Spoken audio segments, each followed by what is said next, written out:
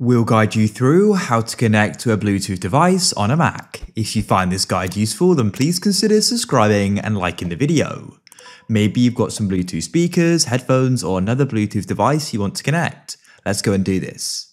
All you need to do is come to the bottom of your computer and you need to go and open up your settings. So click on System Settings. Then all you need to do is go over to the left and you need to go and click on Bluetooth, like so. Go and switch on Bluetooth like this. And then what you need to do is get your Bluetooth device, go and turn it on. And what you need to do is after it's turned on is put it into pairing mode. So go and hold down the pairing mode button. This will vary depending upon the device. So it's quite hard for me to show my exact device as yours will probably be different.